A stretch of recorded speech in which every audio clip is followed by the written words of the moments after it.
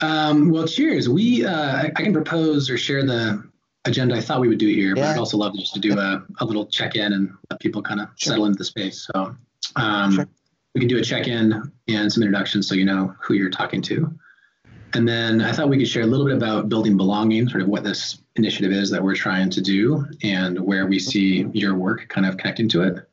Um, would love to see hear how that lands for you uh, if we're way off base. And then there's a specific invitation, um, which is why I'd asked uh, Richard for the connection in the first place, around what we're calling conversations on transformation. And so it's basically um, what is the role of technology in scaling democracy? So a lot of the work you've been in for a while. And uh, we have a couple sort of specific items there to discuss, but that's kind of our general proposal. Does that sound okay? Yeah, sounds great. Um, so I can start for a check-in, which is it's inauguration day here in the U.S. It's been uh, I'm sort of trying to hold the polarity between um, feeling grateful and also this isn't it. We ha- we haven't arrived. It's just an important step along the way. So trying to find that balance. And my kids were just running around outside right before this call, so they may join us at some point. Nicole. Yeah, yeah, I, I feel a huge sigh of relief today at the peaceful transition of power. Um, and it's a beautiful day here in Berkeley, California. So uh, excited to like take a walk later. Uh-huh. Yeah. Uh, as for me, I, I, literally just woke up, uh, and uh, this is, uh, I think, I slept for nine hours and ten minutes. Uh, so one of the longest sleep sleep I've had uh, in in weeks actually, uh, and I'm feeling pretty great. Uh, and looking forward to the conversation. And right after the conversation will be the cabinet meeting, and after which um, there's a, a long space like. I don't know, four hours uh, doing nothing. Uh, so it feels quite luxurious, actually, given the schedule for the past few weeks. Wow, spacious, a rare treat. Mm-hmm. Um, yeah, I was trying to explain to my uh, five-year-old. I said, "Well, I'm going to talk to this person who's a, minister." She's like, "What's a minister?" I was like, well, "It's kind of hard to explain. Actually, it doesn't make a lot of sense to kids." Someone right? who like, preaches and hear confessions.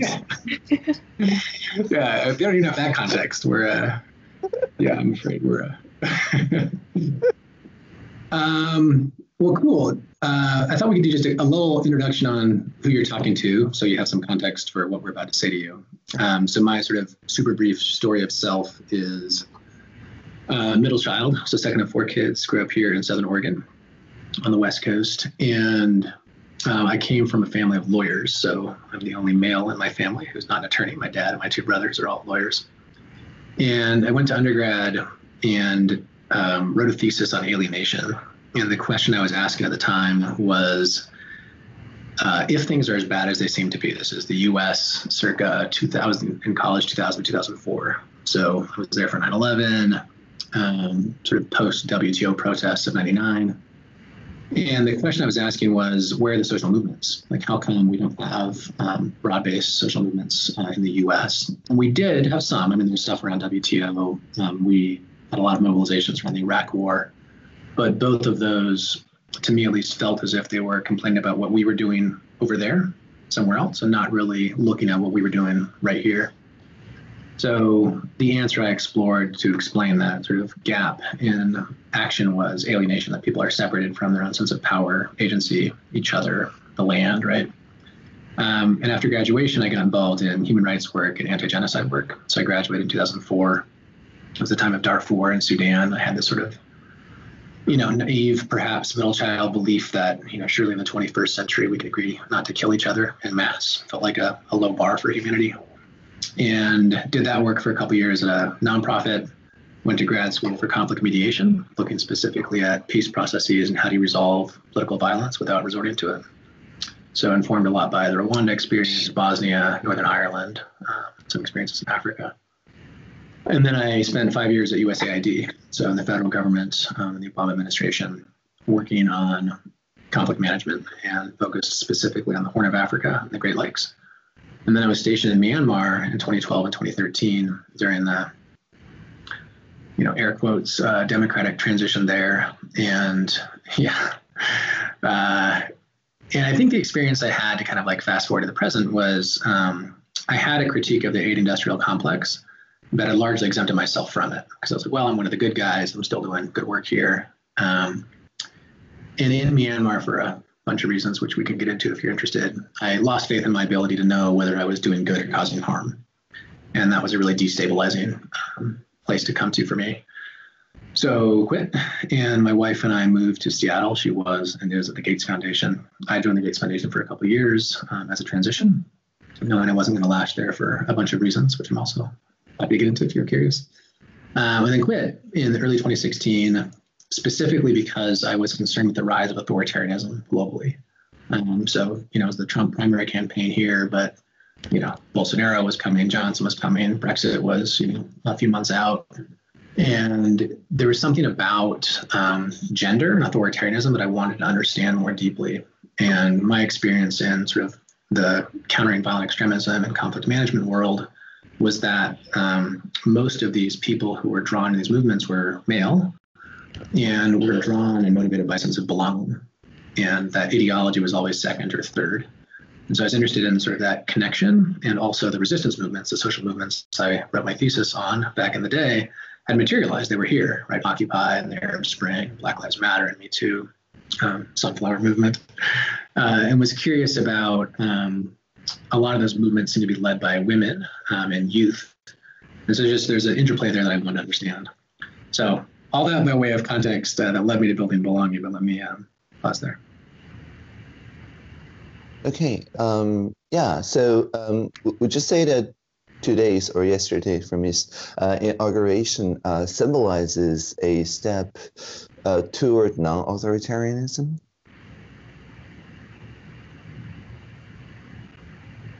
It's a complicated question. Uh, yes, definitely, insofar as it slowed the slide toward authoritarianism in the US.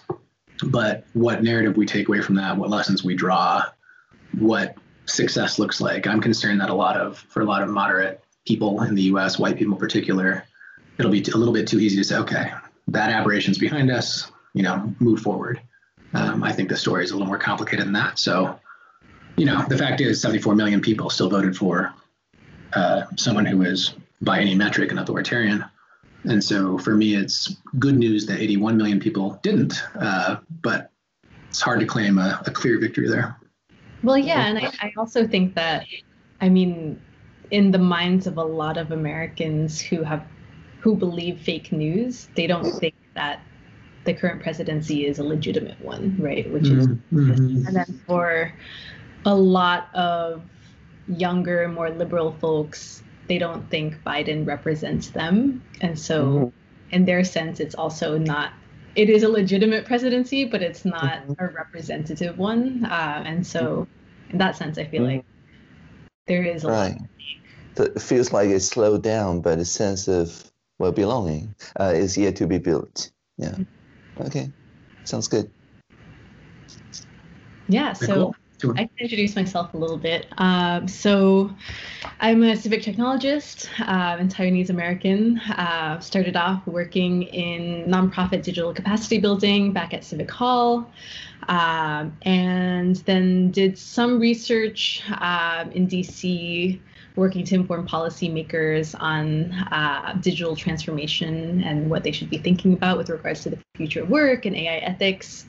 Um, and then most recently, uh, I launched a new resource called platformabuse.org, which is a knowledge source of technological harms and mitigations to guide safer mm-hmm. development so uh, we're trying mm-hmm. to make information about things like uh, trolling and and downvoting, mass downvoting, uh, and other forms of harassment uh, that a lot of minorities might experience more accessible to your average UX designer or developer uh, who isn't necessarily well versed in these issues. Sorry, the website is platform. Platformabuse.org. I can share. Of abuse of abuse. Okay, okay, I got it. Yeah, I got it.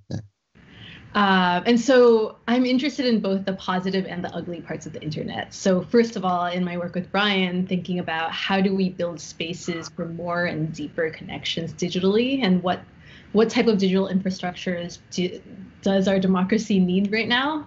Uh, but then also, you know, with projects like platformabuse.org, how do we face the harsh reality that people will always use these tools to hurt? Mm-hmm. Uh, and tied to both of those questions is this interest in tech access. Um, so, who are digital tools being made for? Uh, who has access to them and understands them? And the idea that the tech sector itself can't solve all of these problems, some of which is mm-hmm. created, some of which it hasn't, but is kind of exacerbating or magnifying. Uh, and we haven't really done enough, at least in the US, to make it feel accessible to your typical citizen who maybe isn't an engineer. Um, so, yeah, that's a little bit about me. Um, I'll turn it back mm-hmm. to Brian to talk about the organization. Mm-hmm. I like the, the, the wordplay, abusability testing. Yeah, it's very interesting. abusability testing and mitigation.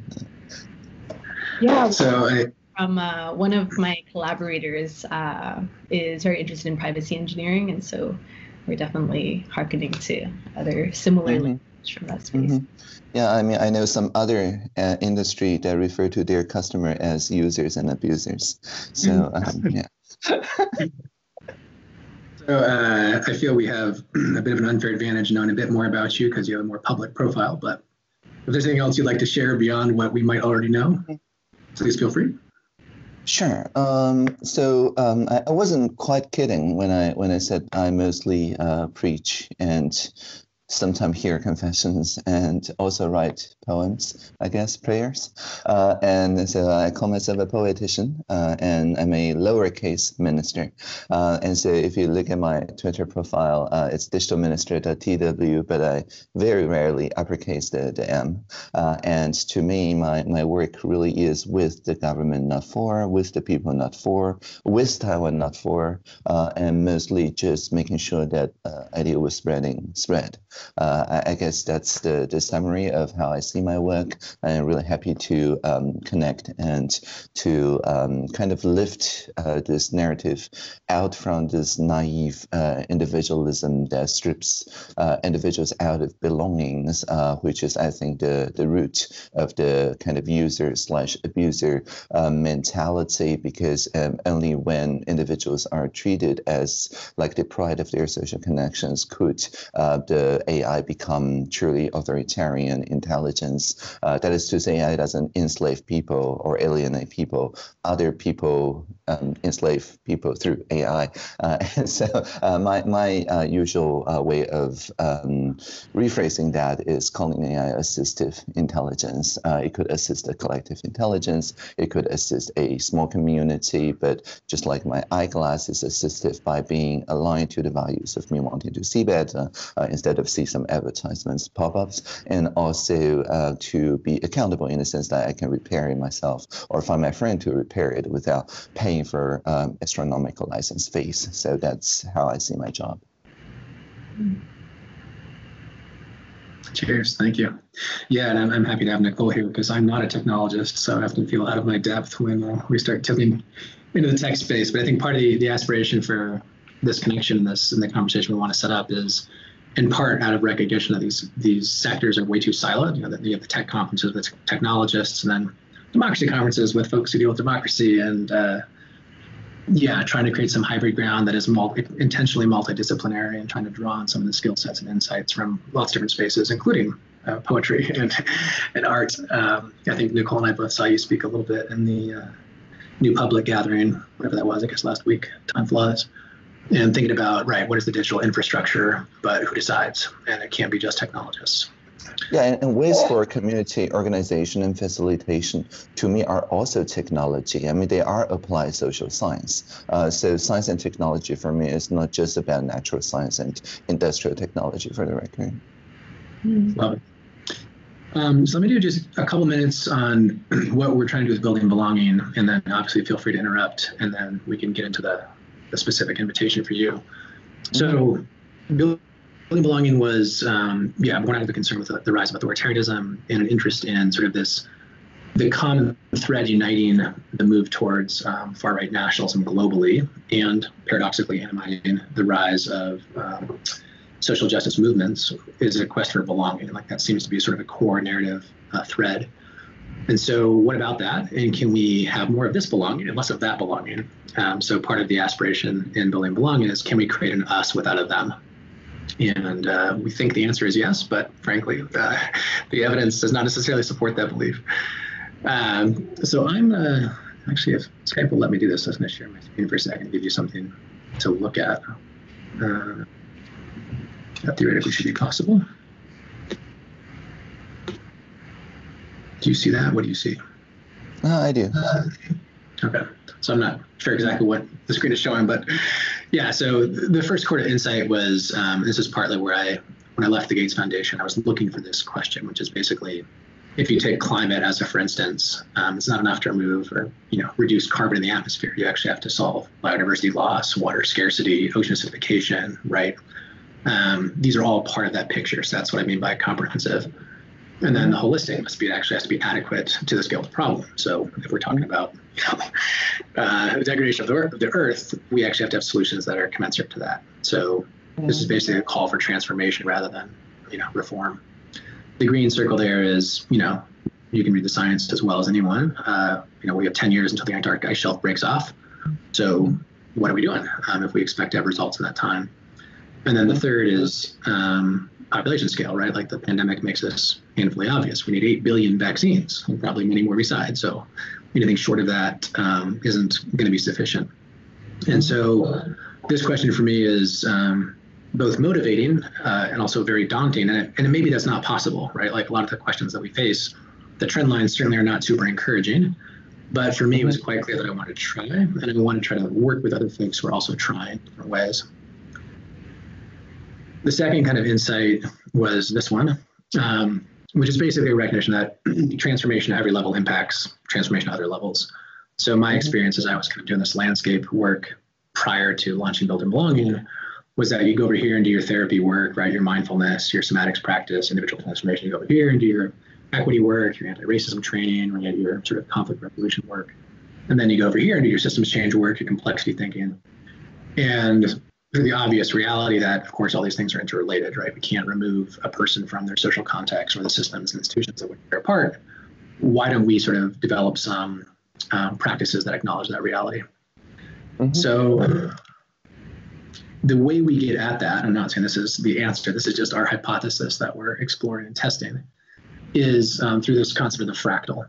So, my own introduction to that was through Adrienne Maree Brown and her work on emergent strategy but it's not, you know, it, it comes from lots of different places. And so it's basically the notion that how we are at the smallest level is in fact how we impact the system at the largest level.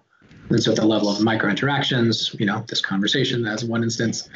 Um, but there's another sort of thing that we're also experimenting with, which is can we create a small group, so have that as the unit of transformation, have it be curated as a fractal of the whole, so it has to look like the world we want to live in. Um, you know, in terms of representation and different uh, experiences represented there. And then how we hold the space has to be consistent with the world we want to live in, which none of us have experienced, unfortunately.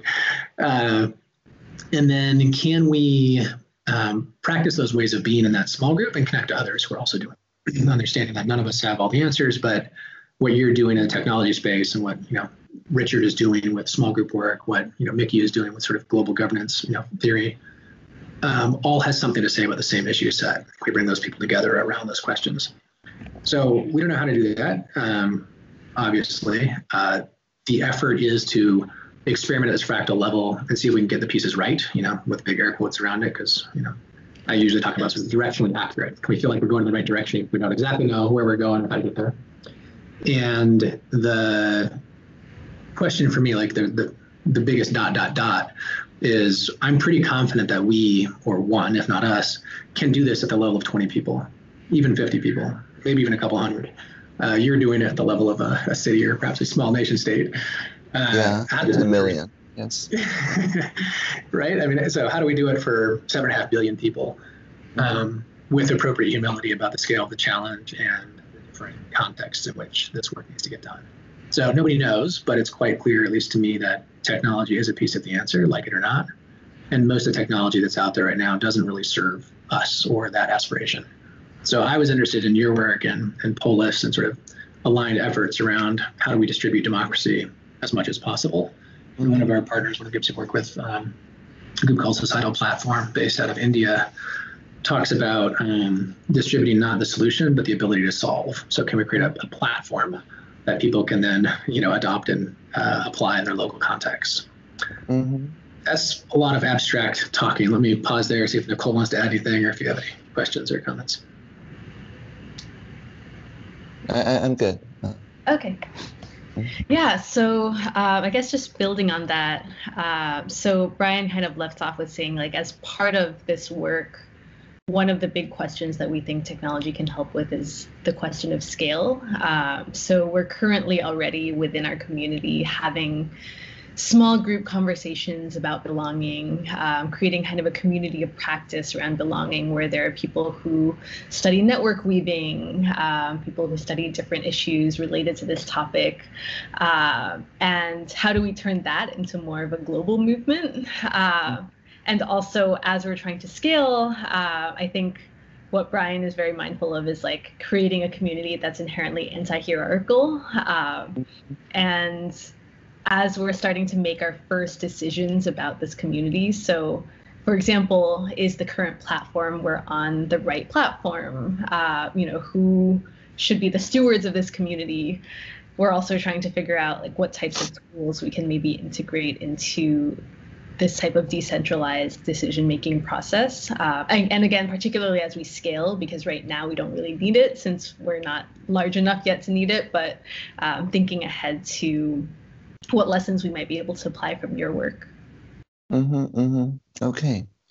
So um, just to, to check my understanding, so uh, this idea is supposed to be a, a in-group with no out-group, uh, right? Everyone has the potential, uh, and this is similar to how I call uh, my community is the Homo sapiens community. Um, it has more or less the, the same symbolic um, value um, in, in this. Uh, and uh, the technologies that we are using, uh, like right now, I mean, it could be Zoom, it could be Skype, or things like that, are, are not that bad uh, for this purpose. Skype uh, actually has a, a um, group view mode uh, that puts us in a um, virtual background side by side. the experience like us looking into a large mirror together, and that builds a sense of belonging and so on. So the designers of these two-dimensional video conferences spaces are also uh, more or less working on the same um, dimensions uh, because otherwise, you know, fatigue and so on is, is a real thing.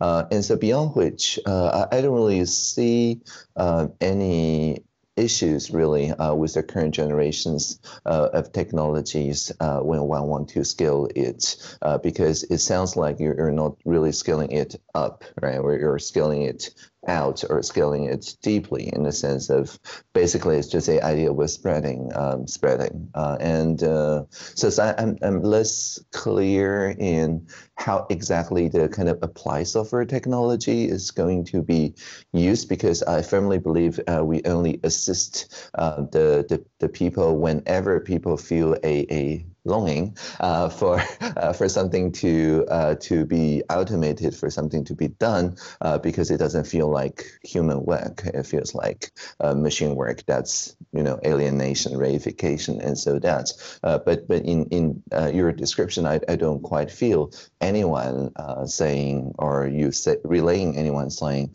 that they're doing very repetitive work that they would rather not doing, uh, and in which case I am not exactly sure how technologies in the sense of digital um, software uh, would help on this regard. Yeah, I think it's a, for me, a, a, the way I think about the two levels of this um, is the world we move in, most people's experience of belonging is not belonging, right? Like that's unfortunately how it tends to resonate with folks. And the idea of belonging, the felt experience of belonging, um, for most people is not part of their lived experience. And so there's something powerful about uniting around that that brings folks together. I think everyone has that experience. And our digital spaces reflect that. Our digital spaces are not good at cultivating belonging. It is hard to find a space this is my experience. Uh, hopefully, you've had a better one uh, that embodies belonging. And the ways we tend to do it are either very flattening, partly of necessity through the technology, but also, I mean, to Nicole's point, like they're not designed for access. They're not designed for uh, radical inclusion. They're designed by whoever designed them with whatever their frame of reference was at the time. And so we're interested in how do we, you know, we have no choice but to move from offline to online and back, right? And have that be a, a dialogue. And that's partly what was attractive to me about the vTaiwan experiments. But if I'm pretty confident that with the right set of folks involved, one can curate a container of belonging. And we're sort of seeing that happen right now in building belonging, I think, I hope, I trust. Uh, the question is, how do we scale that seven and a half million people? I don't know how to do that. I I'm not sure it can be done. But can we find technology that cultivates that same sort of sense of relational intimacy and promotes the kind of um, behaviors that we want to live into, right? So norms around harm, around uh, accountability, around equity. And right now, you know, I like your frame around assistive intelligence, right? It, it tends to perpetuate whatever, you know, I think of it as like power, right? Power amplifies and reflects. It doesn't uh, it doesn't corrupt. It just is what your underlying tendency already is.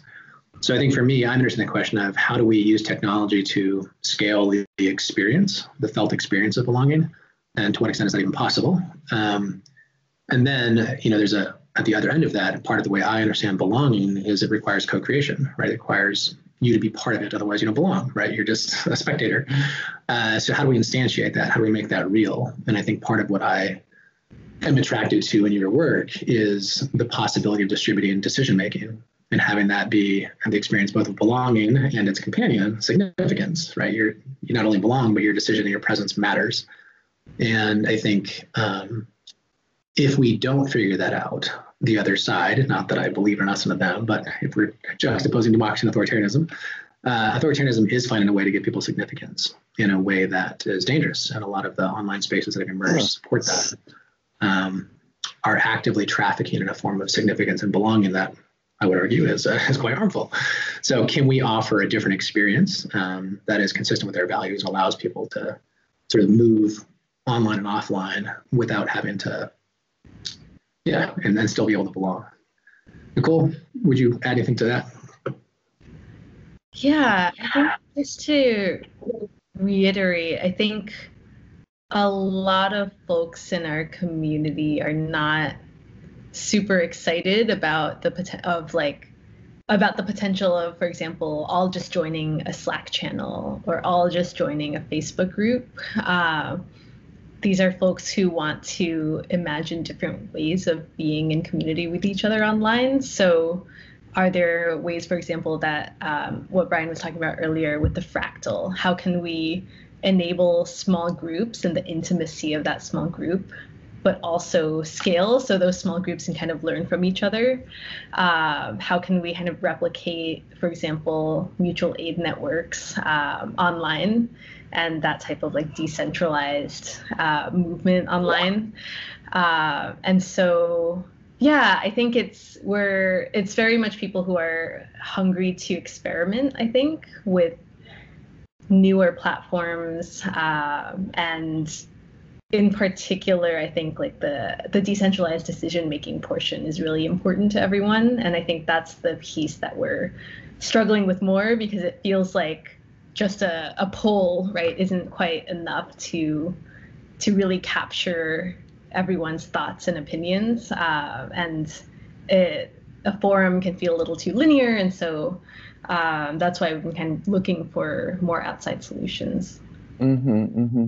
Well, I mean, Polis is free software uh, at pol.is, uh, and it's uh, free uh, as in freedom and also free as in beer for uh, nonprofit groups uh, as well. So, so that's something one can try. But um, so, but but my core point is is this. So um, when when we're having this dialogue in the very beginning, I said that um, I'm requesting your permission to contribute a transcript and or the video recording to the Commons, and and that's uh, for me co-creation. Uh, that's for me making materials uh, for the future generations to to create. And and I think um, that's for me feels um, like belonging, right? Even though I don't know the people who will remix um, our conversation, I had interviews remixed into rap songs uh, by the Japanese uh, band Dos Monos, uh, and in any of which way. but but to, to me, uh, this is fundamentally about giving up control. Like like I, I don't really know how it will be remixed, uh, and, and that uh, paradoxically makes me feel more secure because I, I don't need to be a, a author and therefore not authoritarian, I guess. Uh, and so um, that's that's one observation. Uh, and um, it doesn't have to be online.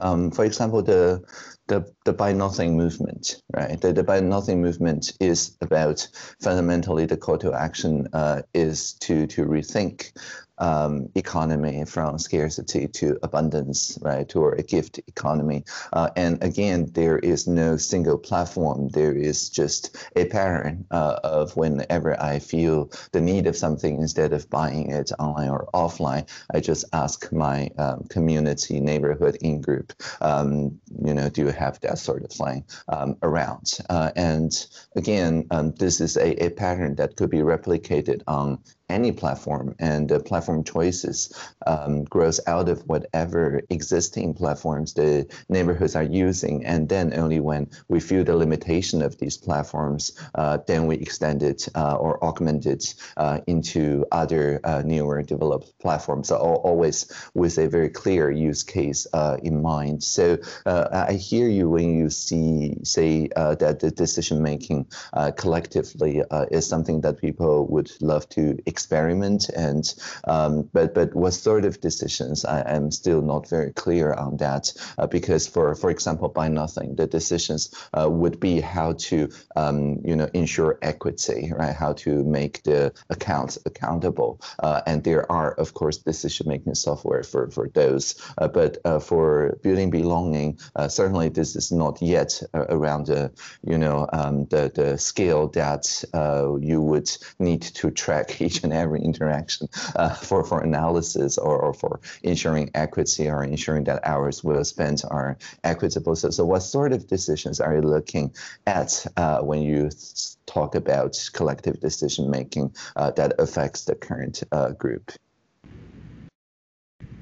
Well, I think there's a lot there, and I, I, think I would sort of separate out like the specific challenges we're, we're working on right now inside Building Belonging. You know, exploring things like sociocracy and different ways of you know dealing with decision making. I think the the connection to your work and sort of the broader question of scale, for me at least, is you know right now if you want to make a collective decision around climate change, for example, how do we do that? It goes to the UN, maybe gets a veto, nothing happens. Okay, then you go to the G7, have some you know horse trading there uh, gets watered down, maybe take some input from nonprofit groups, nothing happens. And you end up getting, if you do get a solution, the Paris Accords were, you know, let's be honest, like a really great achievement, totally inadequate to the challenge. Um, so that's the status quo. What's better than that? And how do we make it real? And I think a lot of folks are working on it. And I guess the only thing I would like maybe spin or play with on what you're saying is I wonder, and I'll, I'll frame this as a question. Um, so we're in the business, I think, of um, catalyzing, cultivating, encouraging, nurturing emergence, right? We want a better world to emerge. And um, I wrestle a lot with like, what is the verb that precedes emergence? And for me, it's also what is the verb that precedes belonging? Because I chose building belonging. I chose building for a bunch of reasons, but it's I'm actually not wedded to it. It's not the right verb because at some level we all belong, right? Like we're here. It's, it's just mm-hmm. a reality. Um, and for emergence, I think my question or my my sort of like struggle here in this thing, and just and just hearing your response there is like, I don't know that we have the luxury of letting go of total control um, because the other side, again with air quotes there, um, is not, and people are um, looking for answers, and I think sort of a more energetic intervention is needed there whether we call that cultivating or catalyzing or whatever the, the right verb is. But for me, it's like we don't have the competencies to do this. Um, mm-hmm. maybe you know in 10 generations we'll get there but we don't have 10 generations so how do we build the collective competency to make better decisions as individuals as a collective and my mm-hmm. sense is like the maybe just a pivot here or to offer the, the connection to the conversation of transformation is it's now clear from a whole bunch of different disciplines emerging that we actually know more or less what it takes at each level of sort of this I, we world, right? Individual transformation, societal transformation, systems transformation And we now know, for example, stuff that I didn't know as a kid, that if I don't have the ability to emotionally self-regulate, I'm not going to be very effective, right? I just, if I am constantly triggered, I won't be able to have meaningful interpersonal interactions. I did not get that skill set as a kid, so here I am as an adult trying to figure out how to do that, right? Um, that's not enough. I also have to have to have the ability to navigate conflict. If I cause offense, um, not only do you have to have the ability to let me know, I then have to have the ability to respond and repair the harm that's been caused. I also did not get that skill set as a kid. uh, part of my draw to mediation.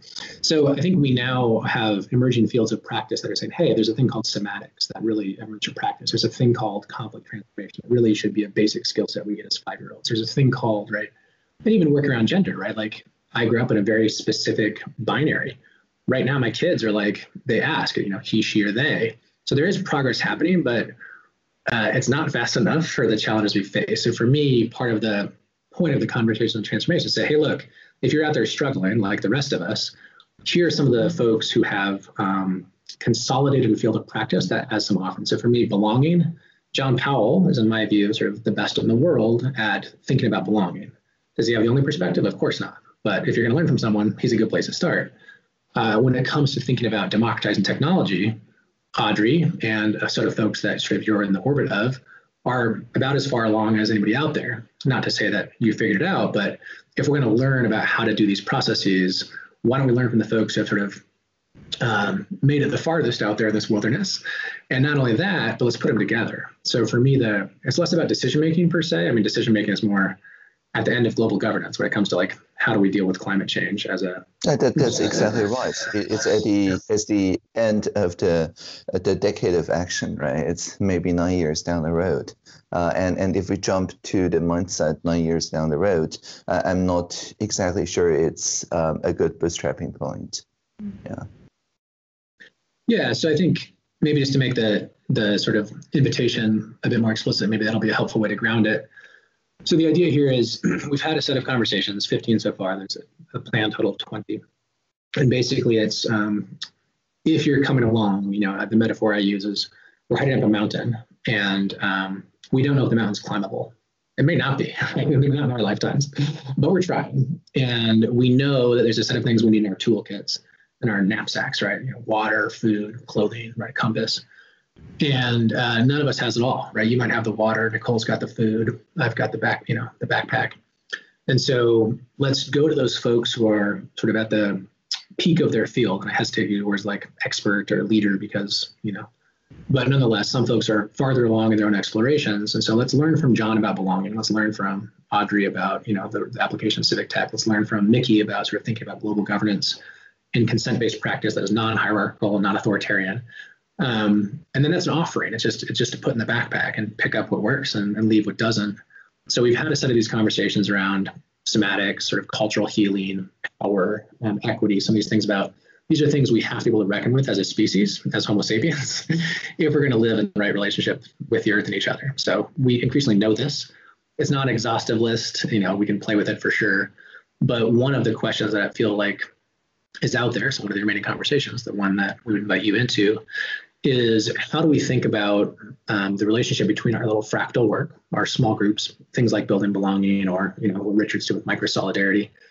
How does that rack and stack into some sort of uh, global governance structure that allows people to meaningfully participate in decisions that impact their lives, like climate change or you know anything for that matter, uh, and leaving aside like the specifics of the construct, which could vary and should vary from place to place is there a way to scale some of those core operating principles that allow people to say, oh, I see what you're doing over here. Let me let me take that and, and apply it.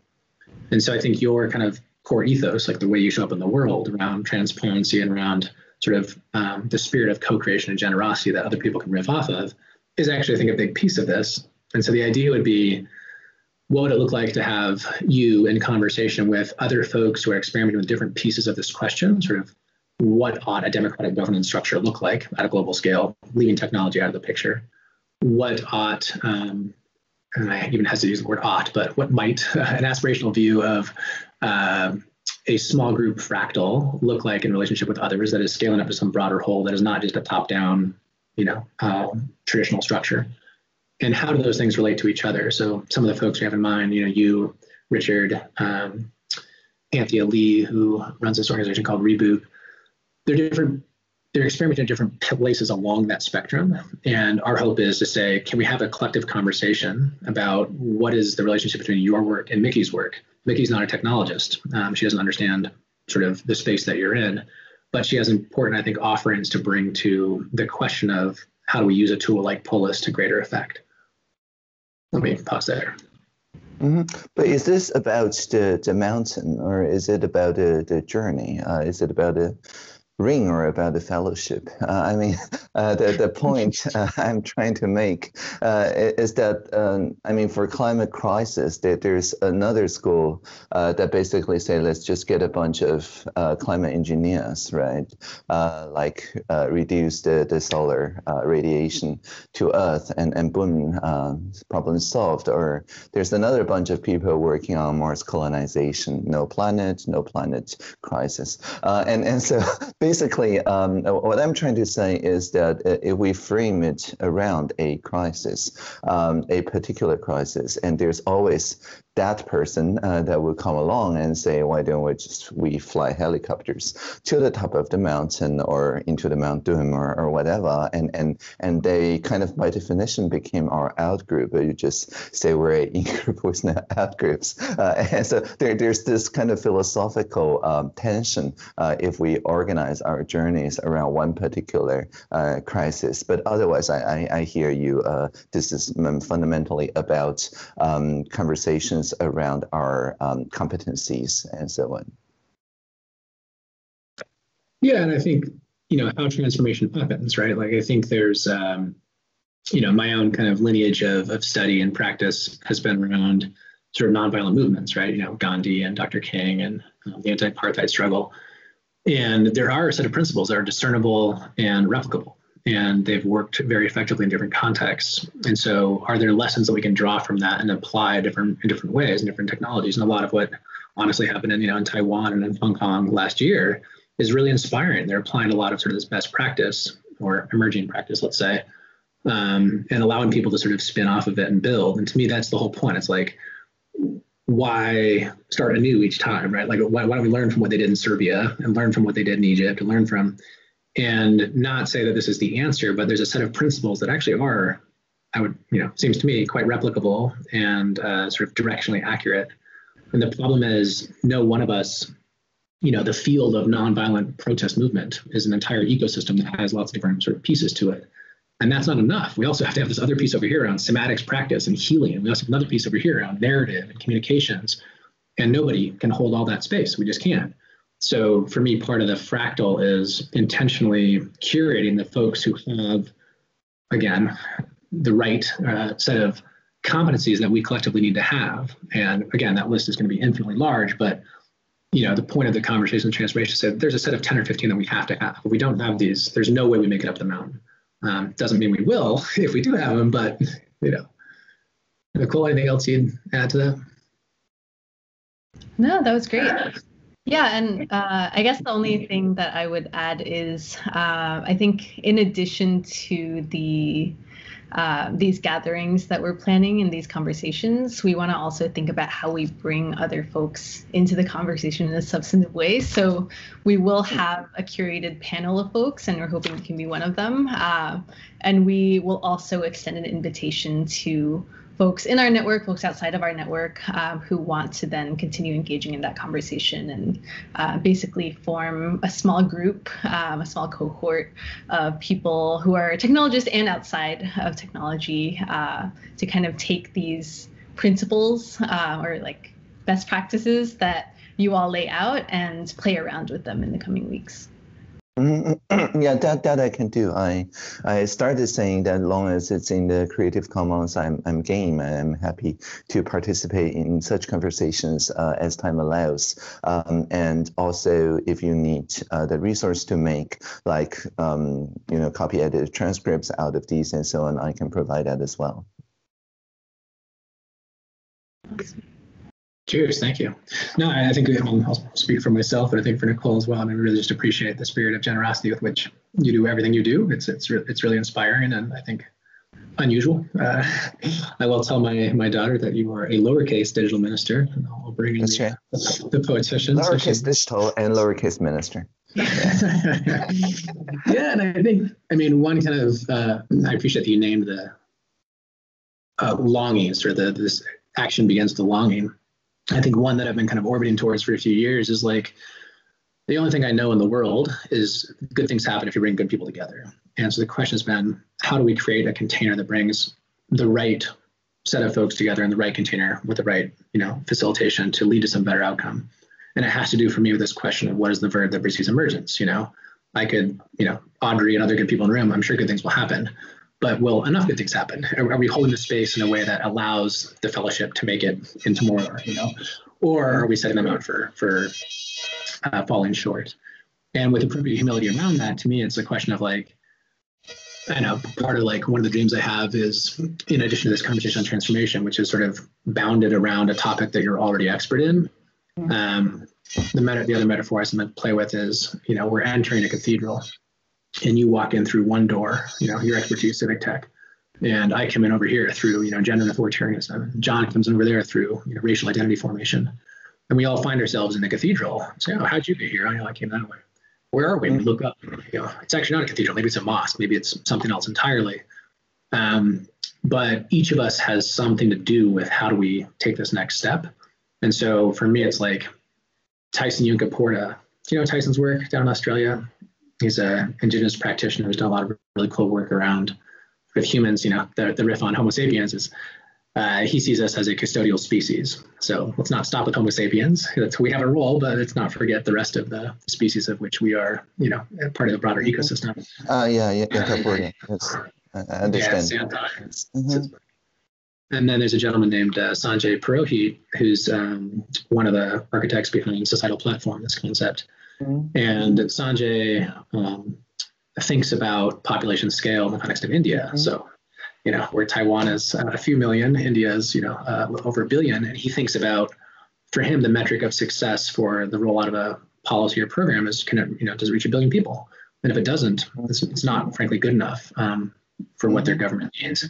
So, sort of part of the thing is like this question of scale, I think, is really bedeviling for folks. And there's a resistance in my communities um, and social justice communities in particular around scale sounds like white supremacy. It sounds like capitalism. It sounds like growth and metastasizing. Um, can we hold an aspiration to work at scale that rightly rejects some of the uh, the archetypes that we've been given to think about scale? And so I'm interested in what would happen in a conversation with you, um, thinking about bringing sort of a technology lens, Sanjay bringing a societal platform lens, Tyson bringing a species lens, anchored in kind of indigenous traditions, John thinking about John Powell thinking about narrative and power um, and how uh, you know he talks a lot about building a bigger we. So it feels to me like I access all of your work and I see the connections, you know, with the limitation of my own, you know, sight. And I'm like, wouldn't it be better to bring people in dialogue with each other and see what what resonates for you and what might emerge from that conversation? And my sense is like I'm not quite confident that, you know, to put any two of you in a room would be great and each of your work would be influenced by the other for obvious reasons. Three or four or five, if we hold that space well, um, it seems to me there's some powerful lessons for what each of us is trying to do in our own small ways if we could only benefit from and draw on each other's work. So Mhm. that's another, that's another kind of like aspiration about what's behind. You know, we have this first conversation of four people who are already to some extent in some relationship, right? You already know Richard, but that's a gateway to a broader conversation that is more intentionally multidisciplinary, and more intentionally diverse around, you know, uh, mindsets and paradigms and you know frameworks that people are bringing to that conversation. And the effort for me and for Nicole and for building belonging is can we provide a common language belonging um, for you to be able to communicate with each other, right? Because, uh, yeah, pause there. Yeah, I, I want to return to the, the mentioning about scale. Um, well, when we talk about scale, I guess in a lot of uh, the social justice groups, people think about industrial scale, which is about scaling up, right? Or, or web scale, which is about scaling out. Um, but what, what I hear you um, especially around this uh, custodial species work. Uh, to me, I would refer to it as scaling deeply, uh, as in geological time scale, like scale not as in space, but as in time. Uh, and uh, so maybe it is not about reaching all the Homo sapiens currently alive, but rather about the Homo sapiens that's to come, uh, and also the species that's to come after Homo sapiens. and and we, if we phrase scaling this way, I mean, in geological time scale uh, kind of way, uh, then a, a, lot of the, the tension uh, disappears because when you talk about seven generations uh, benefit, then obviously the economical prosperity, environmental sustainability, social justice uh, converge seven generations down the line. Uh, and it is only when we talk about the next quarter or next decade do the, the term terminology of scale brings tension. As a, it's a simple observation. Yeah. Yeah, that resonates. Um, moving towards close here, Nicole, other thoughts on what we've been talking about or anything else you want to make sure we have on the table before we wrap? No, I think I'm good. Mm-hmm. Um, yeah, so I think, I mean, a couple of concrete proposals for next steps. So one is um, we'll circle back with the rest of the folks involved in this and try to, I think the challenge that I experienced and was talking about with Nicole earlier is how do we bound to this topic in a way that allows people to access it? Because there's a lot here, you know, global democracy, tech, scale, belonging. Um, so we think we have a way into it, but we'd love to run that by you and make sure it feels like something you can um, dive into and have folks be able to access. Um, so we'll come back with that sort of proposed pairing of folks and what that proposed topic might be, and get your thoughts on does that does that resonate? Does that feel like something you can speak to? Mm-hmm. Um, there is an aspiration, sort of what Nicole talked about, of instead of having this be a one-off ad hoc thing that lives on YouTube or wherever, can we also think about using that as a vehicle to connect communities that are currently not connected? So when Nicole and I were brainstorming earlier, she was talking about some groups in Detroit that are really thinking about access in an interesting way. Audrey, you obviously have connections to all kinds of interesting folks. Um, what would be some interesting combinations or, you know, I used the word remix earlier like that. So who might we choose to remix deliberately um, and see what can emerge from that? So I'm not sure exactly what to do with that, but that's an aspiration. Um, and then the third thought is, I'll, I'll, just sit on this and um, maybe we can come back to you later if it resonates. Is this I, I, I talk about as a fractal fractal. So this this conversation I'm sort of trying to put together with with John and Tyson and um, Richard and Adrienne Maree Brown and some other folks around how do we bring together these different ecosystems of you know sort of societal healing and thinking about democracy in a deep way. And um, I think your work uh, was an important place to play there. I don't feel like I understand it enough to speak very articulately to it. So it'd be better to have you in the room and speak for uh, how you see it connecting or where you don't even. I think part of that is um, is also fascinating. So if that's of interest or if that's a group of folks you'd enjoy to play with, um, we can also keep that in mind. Sure, uh, I can definitely follow up through email uh, on, on, that particular aspiration, uh, and I'm happy to be remixed. I'm not uh, yet uh, quite clear uh, how I would work as a remixer in the community, um, mostly because I don't quite um, currently have a inkling of how to um, how to reconcile this um, this time scale uh, differences. Mm-hmm. Uh, I mean, the, the decade of action narrative and the intergenerational peacemaking uh, uh, narrative are, are, fundamentally two different uh, time scales. Uh, and um, and I, I, did witness that uh, when you move more on the shorter time scale, there's like naturally a them, a, a out group, uh, a mm-hmm. kind of authoritarian people and so on. And when we move toward the longer term time scales, and we're like, yeah, we can we can bring, if not themselves, their offsprings maybe into into a more um, belonging kind kind of thinking and so on, and attention is is less uh, that way, and and that that's what we see in conflict resolution all the time, right? If we extend it into multiple generations and care about future generations' welfare, there's naturally less violence and tension there. Uh, I'm not yet clear uh, on which time scale uh, do the remixing um, actually happen, uh, but uh, in the kind of current um, generation, of course, I'm happy to to meet with people who I already have heard of and certainly have much to learn. And, and that part I'm fine. Yeah, I mean, there's no answer to that. I think uh, I think it's a great tension to sit with and hold. And I think I struggle myself with like yeah, how do we think about seven generations out? And what is the directionally accurate next step in this present moment that is aligned with that future vision, understanding all the things we don't see between here and there?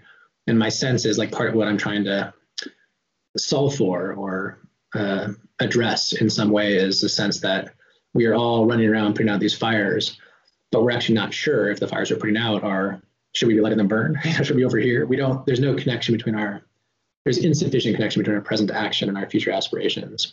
And so, how do we create spaciousness at every scale to um, the three sort of the other event I didn't show you in that that uh, slide I was showing you is visioning, which is like future state imagination, um, implementing. You know, how do we do it? And uh, sense making. What, what is what is the current state? What is the future state we desire? And how do we move from there to here to there? And I'm intentionally trying to bring together folks who are anchored in each of those domains and have a line of sight in the other domains because it's, the whole ballgame. So I encourage you to bring that question to the group, and it's a good one to sit with. I, yeah, okay, excellent. Thank you so much for your time and uh, for the work yeah. you do. And yeah, excited to see what, uh, what, might come of this. And in terms of next steps, um, once we reach out to other folks that we want to bring into conversation with you, uh, we, we want to co-create the the types of questions that you all will be sure. discussing. So we'll provide some rough framework around it, um, but would love to get your input and the input of other speakers as well. Okay, awesome. So um, yeah, uh, and are you comfortable with me just publishing this video? Is there any like, I don't know, trade secret or privacy related issues you would like me to uh, to censor, or, or do we just publish? I'm not sure where these things go once they're published, but I, I think I'm good. Yeah. Uh, to future generations, obviously. Uh, Creative Commons. a, a gift to the, uh, yeah. Yeah, to, to, future sentient beings. All right. Uh, so, so that's it for now then. Um, live long and prosper. Bye. Cheers, Abby. Thanks so much. Bye.